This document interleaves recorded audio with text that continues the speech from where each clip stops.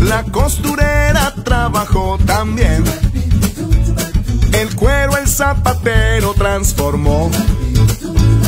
El padre en la casa quedó bien. La niña y sus amigos en la escuela bien contentos ya pueden recibir conocimiento. Aún hay mucho por hacer, pero tenemos orgullo de todo lo que estamos haciendo.